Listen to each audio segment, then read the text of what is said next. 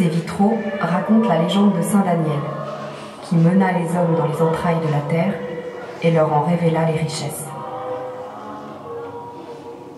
Dans la lointaine Babylonie résidait un homme, Daniel. D'un ange, il reçut une étrange prophétie. Un très grand arbre poussait au sommet d'une montagne. Sa cime atteignait le ciel et sa vue les confins de toute la terre.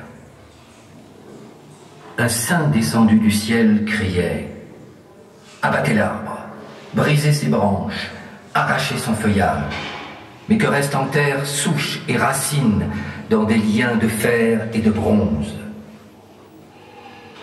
Joie des hommes qui fouillèrent la montagne, creusèrent ses flancs, y découvrirent l'argent, exploitèrent ses filons. Joie des mineurs du Val de Lièvre qui trouvèrent un beau bloc d'argent natif fondu en un quintal d'argent pur.